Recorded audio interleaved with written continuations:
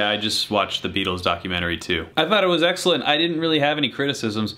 It was kind of just footage. It was a little light on the storytelling from like a filmmaking perspective, but I guess what more can you ask for than just spending nine hours with the Beatles? anyway, like a lot of people, maybe after watching that, I got on a little bit of a Beatles kick. I found this song that maybe I've heard before. I think it's the last thing they probably ever recorded together. I can't prove that, but it feels like that.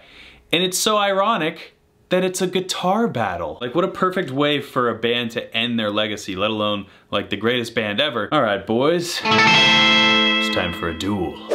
You can just feel the energy. They recorded this obviously all in one room together. It was just a back and forth take and the magic is sprinkled within. This is the thing about listening to each of the Beatles, which is what I'm going to do is break down each of these guitar solos and get inside the minds of each one of these Beatles and see what they were thinking as they composed their, well compose is the wrong word because this was a completely improvised take. Let's get into the first lick of the guitar solo, which Paul kicks us off. It was his song, so I guess he decided to go first. This is actually the most difficult lick in the entire solo.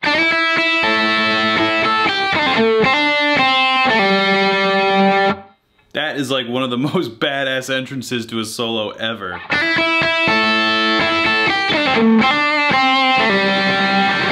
That is awesome. So what's going on here is really Paul's tendencies on display. It really makes me think of his just overall staccato nature when it comes to guitar solos. Like you think about Taxman right away with this intro.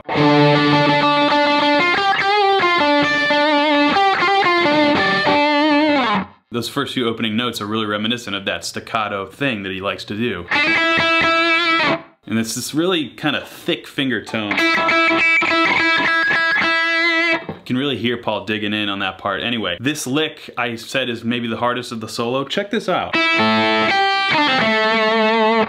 That is harder than it looks because you want this double stop to ring out. Have that note individual and then this little slide. If you play it like this, that's not right. And if you play it like this, it's not a blues slide, it's this whole step slide in this nice little A minor pentatonic box. But he's playing it and with this little glissando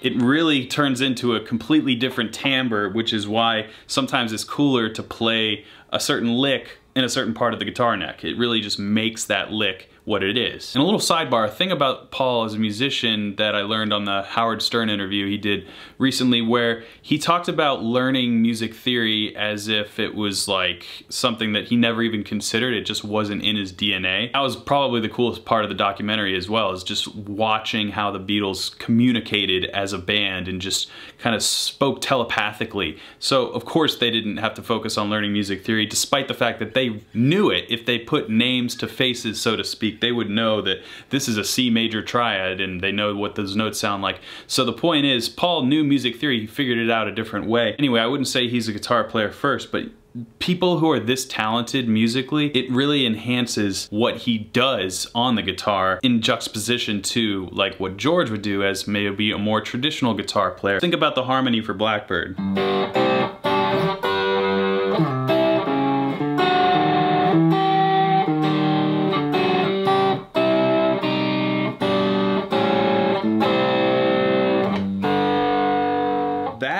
Came out of Paul despite the fact that he didn't know music theory. he basically walked up and down the major scale and all these diatonic chords and passing chords and all the while singing a beautiful song. I mean, it's just innate in some people is what I'm trying to tell you and the way Paul plays his guitar solos, it's just an innate thing that is so perfectly him and so much sums up guitar players who are brought up just on their own ear and with bands and things like that. As somebody who didn't take that path, it's always like refreshing to me to be like, I could never come up with that because I just learned a different way. That's not to say any path is better than the other one. It's just fun to broaden your horizons. Now, let's move along to the next Beatle. By far the coolest lick that George plays is this one.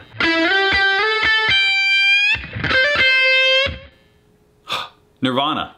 not the band, like musical Nirvana. Those bends, you can tell the Clapton influence, just like the slow blooming of the bends, and then also the bends coming back down is also a staple. So sometimes when you're playing these blues licks and these bends, you forget that you can come back down from the bend if you want.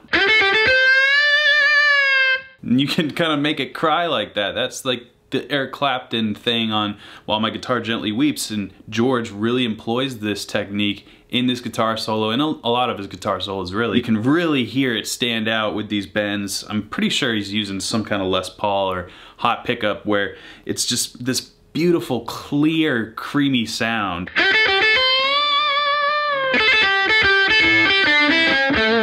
Clapped anything. So you can really hear the Clapton, but you can also hear the George in all these takes. You can hear Paul as the guitar player sort of taking the role of like the abrasive, maybe front man as far as his guitar voice is concerned.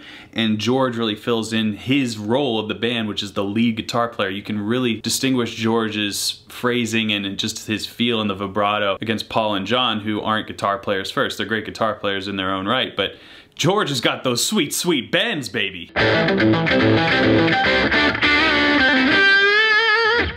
Oh, now let's uh, move on to John.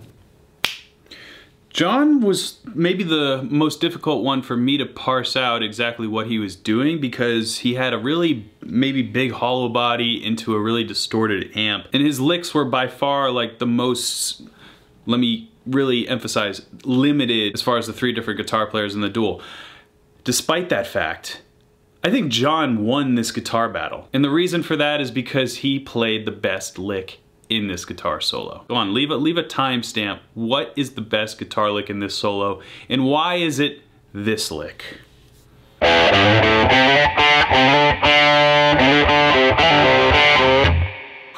Oh my god.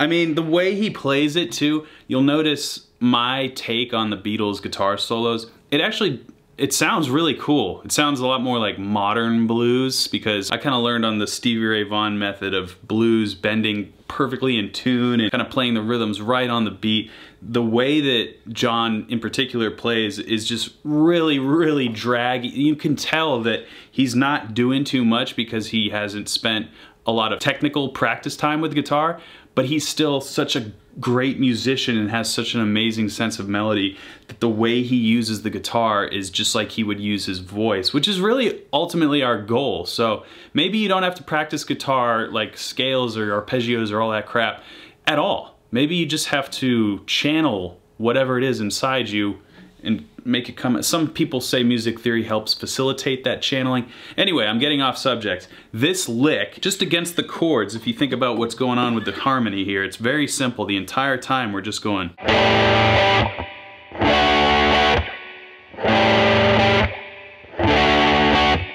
We have just basically a flat seven, an A with a flat seven. And it's just this open kind of major sound because it goes to the D7.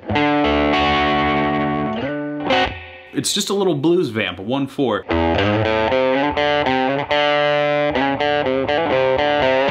The way he phrases that, where it's just like uh, an elephant saying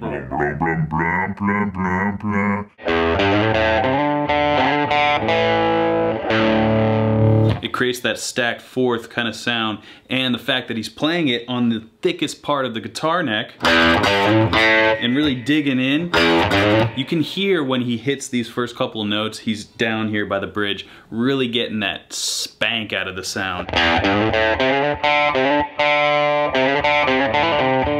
he doesn't botch that, but it's just kind of rushed. You know, there's no click. They're playing with a ton of energy. He, he falls out of that lick in such a perfect way. I cannot emulate it. Listen to the recording if you want to hear what I mean. But I'm basically interpreting his lick in time. So it's maybe what it would have been if I were John Lennon. But John's other contributions are these really crazy, like Chuck Berry-esque double stops where it's like... And then at the end of the solo is just him going. And it's just perfect rock and roll bliss, this entire guitar battle.